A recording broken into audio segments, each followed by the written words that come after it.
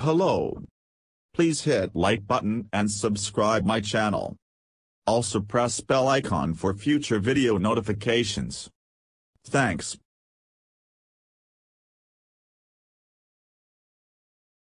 According to a recent article published by The Guardian, some construction workers at Tesla's newest EV factory, coined Giga Texas, have come forward to report potential labor violations. The article goes on to claim that whistleblowers have pointed to unsafe conditions, accidents, and potential wage theft, and that an official complaint and request for a case will be filed.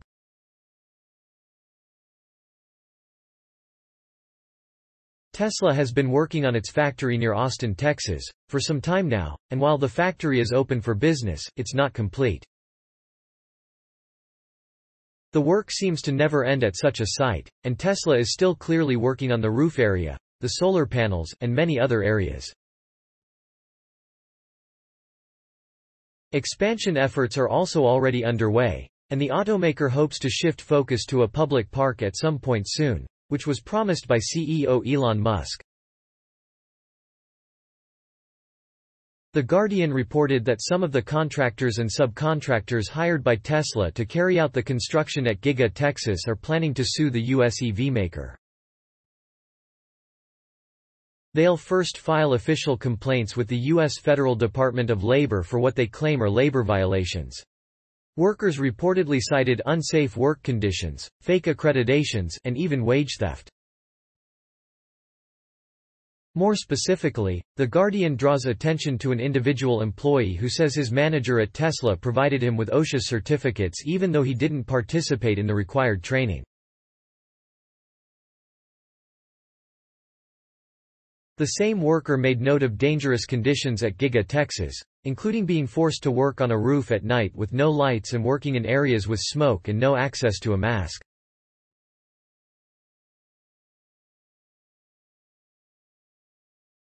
The Guardian goes on to report that this single employee, referred to as Victor, said he had to work in flooded areas with electrical wires, and he told his wife he would die at the Tesla factory.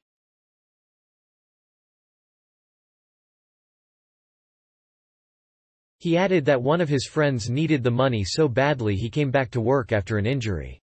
The publication also claims that some workers worked over the Thanksgiving holiday in 2021, after being asked to stick around and help.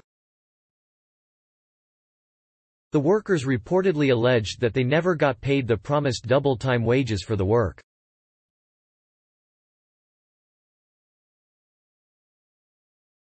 Interestingly, Tesla isn't directly involved in paying the construction workers, but a lawyer for Workers' Defense Project says the automaker didn't seem interested in trying to help fix the situation.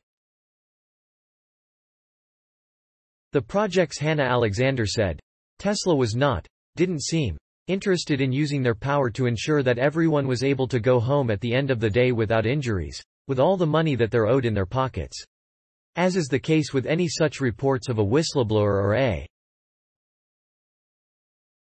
if it does, it will be for a judge to decide. At this point, all we have is the story from The Guardian of a single worker, Victor, and his claims.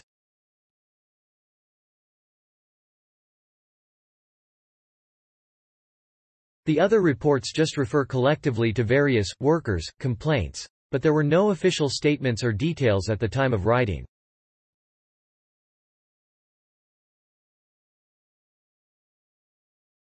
This is a developing story. When more concrete details and or some sort of decision becomes available, we'll update this article or provide a follow-up story. Thanks for watching. Credits to InsideEVS.com and Spied Build LLC. Please like my video and subscribe EVpedia for more electronic vehicle news and updates.